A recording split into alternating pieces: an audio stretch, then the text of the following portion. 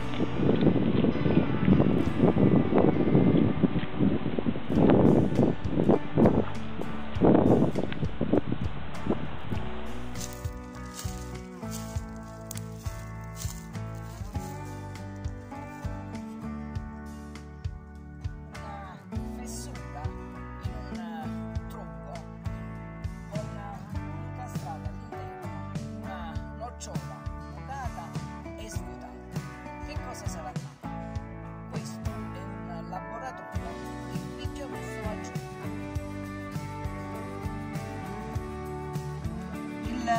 Picchio rosso maggiore durante la stagione invernale, quando cioè trova poche delle sue prede abituali, che sono oh, larve di insetti che vivono nel legno, integra la sua dieta con la frutta secca.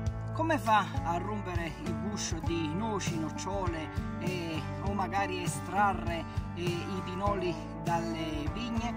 In pratica eh, incastra la frutta secca nelle eh, cortecce rugose o nelle fenditure degli alberi e poi col possente becco o le fora per mangiarne il contenuto. In verità per questa operazione usa come laboratorio una fenditura o una parte della corteccia eh, che si trova nei punti più alti dell'albero.